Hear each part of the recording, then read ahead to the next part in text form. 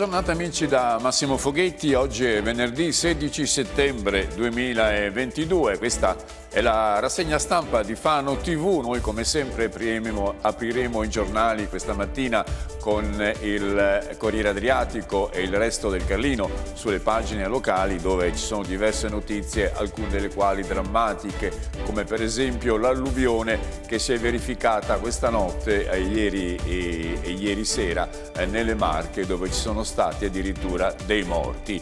Iniziamo comunque la nostra trasmissione con l'almanacco e vediamo il santo del giorno.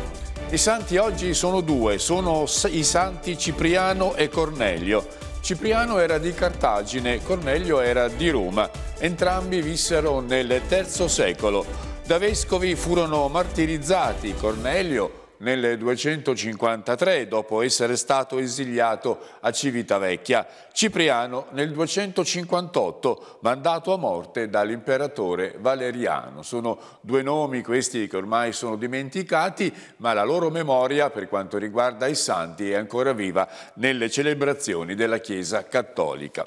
Vediamo anche le previsioni del tempo. Il sole questa mattina è sorto alle 6.47 e tramonterà alle 19.19. .19. Le giornate lentamente si stanno accorciando. Eh, per quanto riguarda il tempo vediamo che nelle Marche sta tornando il sereno, questa mattina il cielo su Fano era sgombro di nubi ma in lontananza si vedevano ancora quello strato, si vedeva ancora quello strato tenebroso che ha offuscato la notte e la giornata di ieri.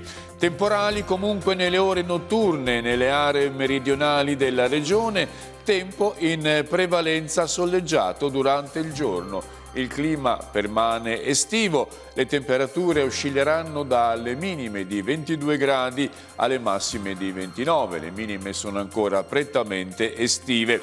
I venti spireranno sulle coste da una direzione di ovest e sud-ovest, così come nell'entroterra. Eh, le temperature dovrebbero essere in calo, ma insomma questa è una previsione che trova sistematicamente delle smentite poi nei consuntivi della giornata giornata. E allora vediamo subito le notizie che riguardano la bomba d'acqua che è caduta sulle Marche. I giornali fanno in tempo a riportare quanto avvenuto a Cantiano. Bomba d'acqua, si temono dei dispersi Cantiano addirittura devastata, sommersi locali al primo piano, gli abitanti prigionieri in casa. Le strade sono off limits e c'è un vero e proprio blackout. Oggi le scuole saranno chiuse.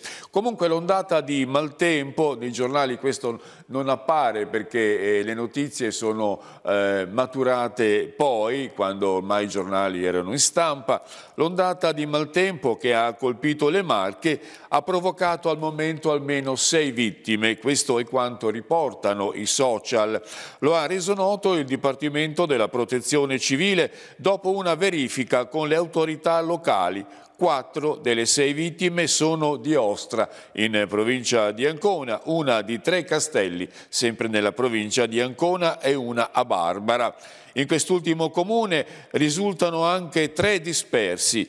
Nella provincia di Ancona, dove sei persone sono morte a causa del maltempo, come abbiamo detto, si sono abbattuti 400 mm di pioggia in due o tre ore. Veramente una quantità eccezionale. E secondo i primi riscontri anche a Cantiano, eh, sono caduti 300 mm di pioggia, un quantitativo veramente straordinario, precipitato poche ore, in poche ore eh, in tutta la zona a ridosso del Monte Catria eh, che ha determinato una vera e propria alluvione. Dunque le Marche sono state al centro delle eh, perturbazioni più violente del, del eh, temporale di fine estate. Ed ora diamo un'occhiata alla pagina fanese del Corriere Adriatico dove le notizie sono meno preoccupanti, anzi in questo caso sono positive. Terna ha mantenuto la promessa, arrivato il secondo trasformatore. Bene, Terna ha incontrato l'altro giorno, nel pomeriggio di mercoledì, l'amministrazione comunale e i rappresentanti dei residenti di Carrara, ai quali ha illustrato le fasi di aggiornamento delle opere di mitigazione acustica riguardanti la stazione elettrica di Carrara. Sappiamo come alcuni macchinari nei giorni scorsi, anzi da diverso tempo emettevano un, un, rumore molto molto fastidioso che non faceva dormire di notte i residenti e procurava diverse noie durante la giornata. Ebbene Terna, dopo diverse sollecitazioni, ha deciso di cambiare questi macchinari e proprio ieri è arrivato il secondo trasformatore. E poi dal lunedì prossimo 19 settembre entrerà in funzione un nuovo macchinario installato all'interno della stazione elettrica alla fine di agosto, quindi c'è stato questo rinnovamento. E prossimamente nel prossimo incontro Terna combinerà, concorderà con i residenti le opere compensative che verranno realizzate nella frazione fanese appunto a compenso della situazione di, di, insomma, di, problema che eh, costituisce l'esistenza eh, della centrale in quel agglomerato urbano. Una notizia di cronaca, fondo pagina del Corriere Adriatico violenza sessuale sulla figlia minorenne. Ci sono veramente queste violenze sessuali che vengono condotte in famiglia. Ieri abbiamo parlato di quanto ha compiuto un nonno nei confronti della nipotina, questa volta un padre nei confronti della figlia. Sono veramente episodi squallidi è stato aperto il processo a carico di un fanese di 46 anni, tre gli episodi contestati. Eh, L'uomo sembra che palpeggiasse nelle parti intime la figlia, la quale ovviamente ha reagito, ha raccontato tutto alla mamma e il padre è stato denunciato. Giriamo la pagina e vediamo la seconda pagina riguardante Fano. Caso Carducci, eh, per la provincia la protesta sarebbe ingiusta, noi ci siamo sempre impegnati, ha dichiarato il presidente della provincia Giuseppe Paolini, che ha ottenuto altri 267 mila euro per la progettazione definitiva. E questo dovrebbe accelerare tutto l'iter burocratico insomma, che al momento è stato condotto in maniera molto molto lenta, sono tre anni che si aspetta la risoluzione del problema delle Carducci. In questo modo ci siamo portati ulteriormente avanti, ha dichiarato oh, Giuseppe Paolini, eh, affidando l'incarico di progettazione allo studio Vitre di Tiene in provincia di Vicenza risultato vincitore del concorso di idee eh, che è stato precedentemente indetto dalla provincia. Mi sembra quindi che ci sia tutto fuorché immobilismo, ha replicato Giuseppe Paolini. Ovviamente queste eh, affermazioni dovrebbero essere poi documentate dai fatti e il Presidente si è impegnato anche ad intervenire subito nelle finestre dell'Istituto Battisti che erano state date per fatte, in realtà devono essere ancora fatte, nonostante che l'impegno sia stato assunto. A Fossombrone arriva il Giro d'Italia, una bella notizia questa per la città metaurense. Il Giro d'Italia a Fossombrone, arrivo della tappa il 13 maggio dell'anno prossimo.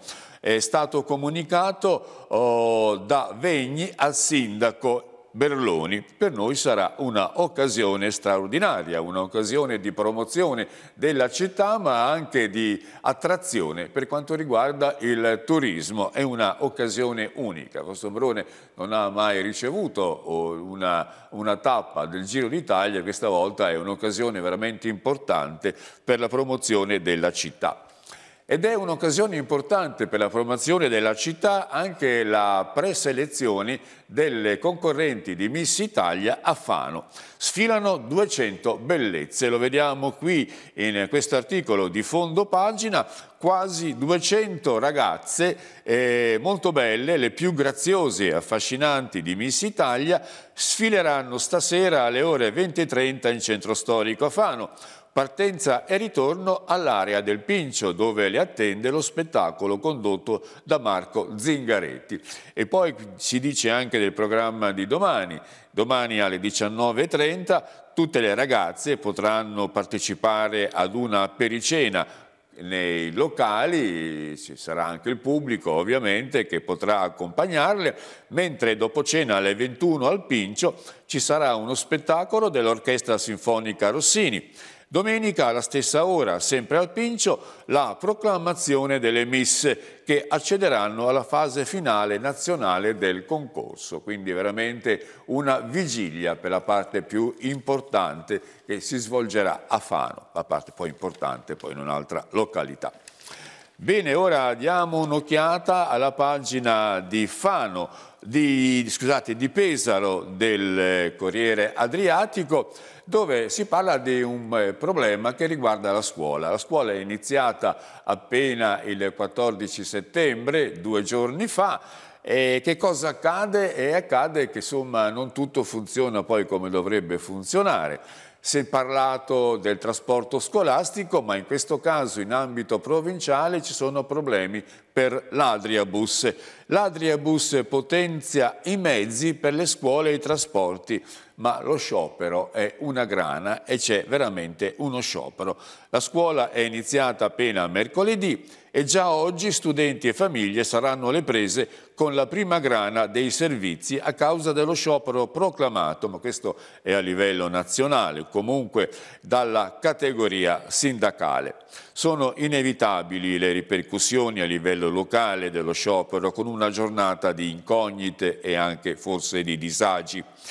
L'azienda eh, Adriabus assicura che i servizi per i disabili e quelli del trasporto scolastico per le scuole materne e le elementari eh, saranno saranno oh, assicurati, soprattutto per quanto riguarda la fascia del ritorno a casa. Sono incluse in questa dichiarazione anche le scuole eh, medie e le scuole superiori. Eh, il servizio normalmente predisposto potrebbe subire comunque delle variazioni non prevedibili legate alle scelte individuali poi degli autisti, se aderiranno o meno, se ciascuno aderirà o meno allo sciopero proclamato dai sindacati.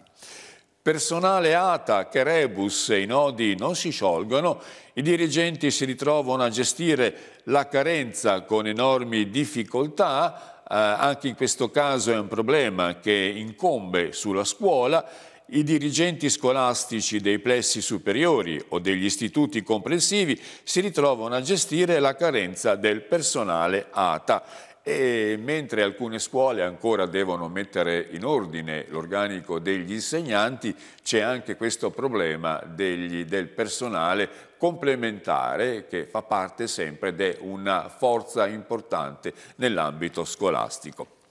A Pesaro restiamo con Ricci, a Roma vedremo, lo, ha dichiarato, lo hanno dichiarato eh, il gruppo dei 5 Stelle. I 5 Stelle presentano i candidati e rassicurano sulla maggioranza a sostegno del comune di Pesaro a Roma, un'altra parrocchia, un'altra questione. Ebbene, sulla territorialità c'è un'altra gestione rispetto al nazionale. Sono scelte che vengono trattate, hanno dichiarato, in maniera individuale, conoscendo il territorio e le esigenze che bisogna affrontare. Insomma, ci sono due parrocchie, una nazionale che ha i suoi problemi e una locale che invece ne ha altri. In questo caso la, il sostegno alla giunta Ricci viene assicurato. Elezioni, macchina da 300.000 euro e guai a smarrire le matite copiative. Ancora si traccia eh, la croce con le matite copiative, mentre all'estero magari i meccanismi delle elezioni sono molto molto più perfezionati. Ebbene, a, a livello locale, a livello pesarese, ci sono 300 mila euro che dovranno essere spesi per tutto il materiale, per tutta l'organizzazione, l'ambaradan per allestire i seggi elettorali. L'importo è stato messo a bilancio nell'ultimo consiglio. In città quasi 76 mila saranno saranno gli elettori chiamati alle, alle urne, 614 per la prima volta. Le urne pesaresi attendono 75.860 elettori, 39.605 femmine, e sono sempre in maggioranza, e 36.255 maschi. Si annunciano 614 diciottenni che voteranno per la prima volta. E da questa tornata chi raggiungerà la maggiore età potrà esprimersi, come è noto, anche per il Senato. E vediamo anche la pagina di Urbino, dove si parla di una iniziativa, eccola qua, torna il food truck a Borgo Mercatale, gastronomia in tour da tutto il mondo. Ebbene, da ieri a domenica continua il viaggio gastronomico tra i sapori autentici della cucina italiana eh, nell'ambito di questa manifestazione che viene organizzata a Borgo Mercatale. Non mancheranno fino a tarda notte, in questo caso, le cornie, eh, le, corni, le cornie musica, intrattenimento eh, eh, dal pranzo alla merenda, dall'aperitivo alla cena e sa, la, si sa come poi l'enogastronomia ha una forza d'attrazione di carattere turistico che è sempre più forte e sempre più efficace e quindi anche Urbino la sfrutta in pieno. Urbino poi ha delle specialità come la caciotta che sono veramente tipiche. A questo punto diamo un'occhiata al resto del Carlino. Il resto del Carlino apre con un dramma che si è edificato, che ha visto interprete un fanese. Un fanese muore di legionella eh, mentre era in vacanza. Si tratta di un ingegnere eh, di 76 anni, si chiamava Ciro Cozzolino, era un ex dipendente della SNAM Progetti, era in vacanza con la moglie in Sicilia, a Palermo. Stava soggiornando in un albergo, l'Hotel Politeama, l'albergo in una posizione centralissima della città. A un certo punto si è sentito male, si pensava che fosse un malessere passeggero, in realtà così non è stato.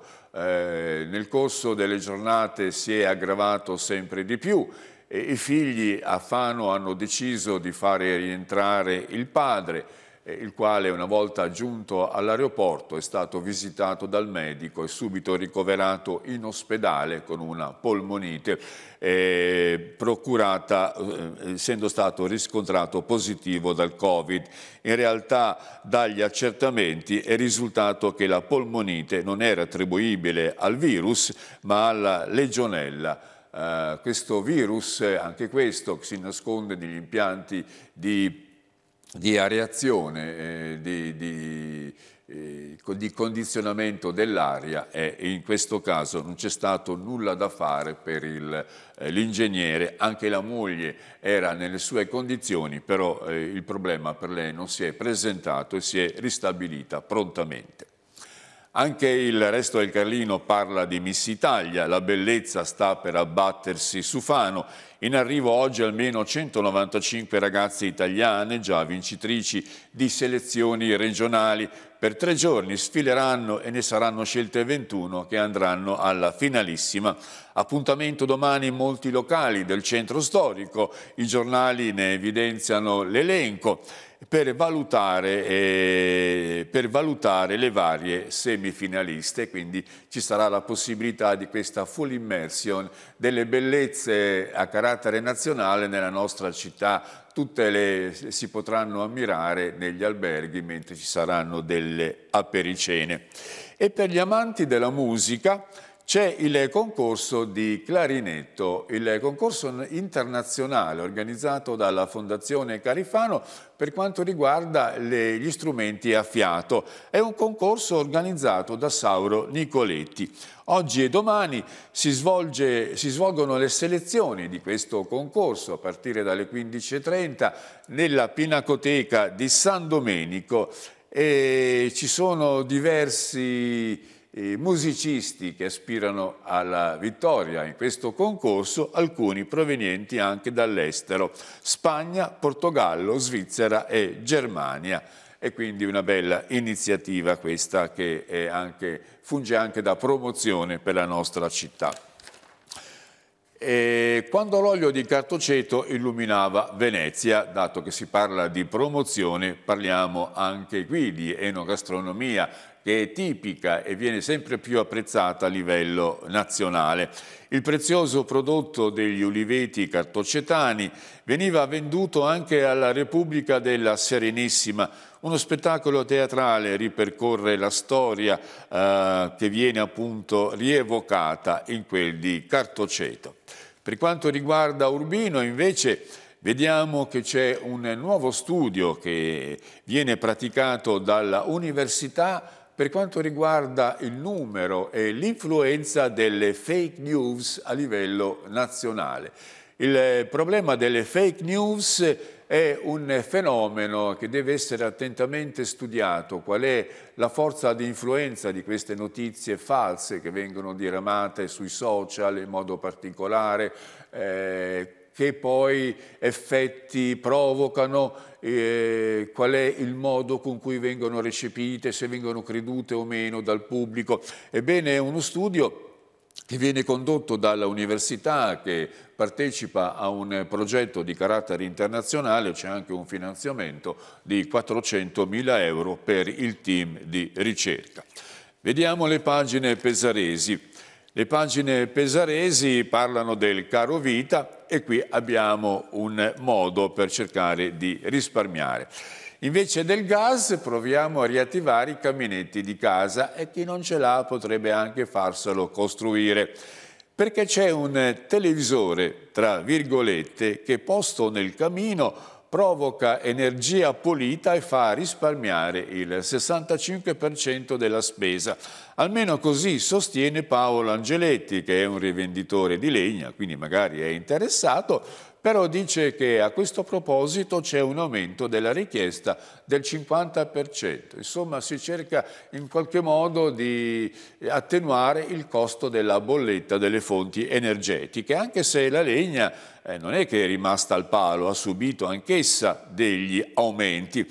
Il costo è aumentato fino a 20 euro, mentre prima era di 12 o 13 euro al quintale. Quindi anche la legna ha subito un aumento, ma sembra che rimanga sempre più conveniente rispetto al gas, che ormai ha raggiunto veramente cifre stratosferiche. E sotto i San Pietrini l'ombra del Medioevo. I giornali da tempo parlano dei lavori del rifacimento del piano stradale del Piazza del Popolo a Pesaro. Ebbene, i lavori sono cominciati e non sono mancate le sorprese. A uno strato molto molto poco profondo, anzi diciamo molto superficiale, di circa 20 cm, è emerso un muro antico in pietra tratto a semicerchio. Sembra che non sia romano perché poi la profondità è minima, quindi lo strato romano dovrebbe essere più profondo, potrebbe risalire al Medioevo, al Medioevo sembra che venga negata anche l'appartenenza al vecchio oh, palazzo comunale eh, di Pesaro, ma comunque potrebbe essere pertinente a case medievali. È stata avvertita la soprintendenza, per il momento i lavori sono stati sospesi e si cerca ora di, si dibatte il problema se è il caso di approfondire gli scavi oppure di lasciare tutto così come e ricoprire il tutto per non dilungare molto i lavori. Anche il resto del Carlino parla dell'abbonamento al bus, eh, al problema del trasporto scolastico, ma sotto un'altra luce. Perché che cosa accade? Accade che una famiglia che sottoscrive un abbonamento per eh, così facilitare il trasporto del proprio figlio a scuola è costretta a servirsi sempre dello stesso autobus. Se lo perde e ne prende un altro, deve pagare un altro biglietto. E questo insomma crea dei problemi, crea anche delle, delle proteste. Si tratta qui di una signora, si chiama Tabita, mamma di una liceale che ha protestato. Ma come dice? Io pago un abbonamento di 30 euro, se mia figlia a un certo punto un giorno perde l'autobus, prende il successivo, deve ripagare il biglietto. Mi sembra una cosa molto strana. A questo proposito risponde Massimo Benedetti, che è il direttore di Adriabus, il quale dice che esistono due opzioni di abbonamento eh, o per la singola linea al costo di 30 euro mensile oppure per girare l'intera rete urbana al costo di 43 euro mensili. Cambiare la regola, ha detto Benedetti, non è possibile e quindi bisogna soggettarsi a questi regolamenti. Crosetto e il caro energia, svegliamoci. Il cofondatore di Fratelli d'Italia, l'Excelsior, davanti al mondo imprenditoriale, dice il problema era, era, era da risolvere anni fa. Io ministro non mi interessa, ebbene il problema del caro energia sta veramente improntando di sé tutta la battaglia ele elettorale. E vediamo che anche il Carlino si occupa del Movimento 5 Stelle, rispetto quote rosa e niente paracadutati eh, è stato dichiarato nel momento in cui sono stati presentati i candidati del movimento fondato da Beppe Grillo. Veniamo alla cronaca, coppia tenta un furto al ristorante, lei che fungeva da palo è stata presa, il moroso che era penetrato nel locale invece riesce a fuggire, ma questa volta a mani vuote. Avevano arraffato anche la boccia delle offerte, pensate, ma non hanno fatto in tempo a razziare gli spicci. La loro specialità, perché non era la prima volta che erano protagonisti di questi fatti, era di assaltare i bar di notte quando sono chiusi e cercare di aprire il registratore di cassa e portare via tutto quello che potevano arraffare, comprese appunto le offerte, le mance ma ieri notte i progetti di una coppietta che era entrata nel ristorante Anami di Piazzale Primo Maggio sono andati delusi, infatti è scattata l'allarme, è arrivata tempestivamente la polizia e ha subito fermato il palo, si tratta della ragazza che ha 21 anni ed è tossicodipendente, mentre il moroso, il fidanzato che era all'interno e che stava appunto depredando il locale, è riuscito a fuggire. Il soccorso è una gara, Croce Rossa in campo. È una bella esercitazione, un'efficace, interessante, spettacolare esercitazione che gli operatori della Croce Rossa stanno per eh, organizzare a Pesaro. Si tratta della ventisettesima edizione delle gare nazionali di primo soccorso della Croce Rossa italiana in programma per oggi e domani.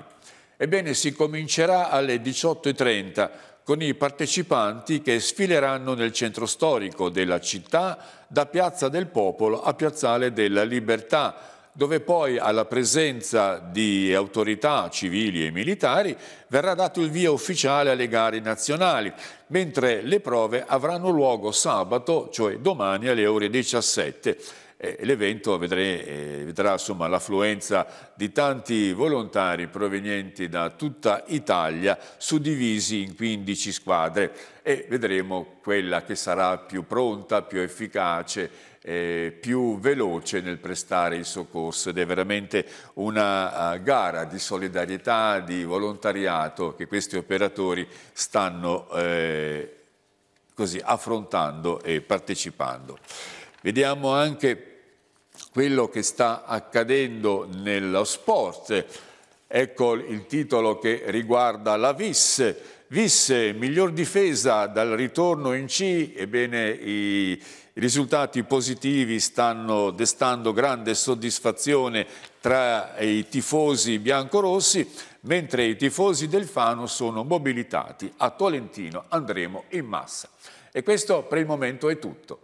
Massimo Foghetti vi saluta, vi dà appuntamento domani alle 7 e vi ricordo sempre occhio alla notizia di questa sera alle ore 20.30 per le notizie del giorno. Questo per il momento è tutto, a risentirci, buona giornata.